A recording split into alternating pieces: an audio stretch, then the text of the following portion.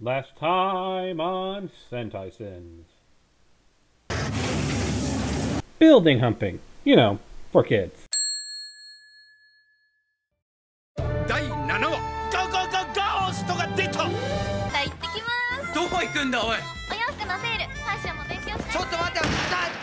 Girls love shopping for clothes.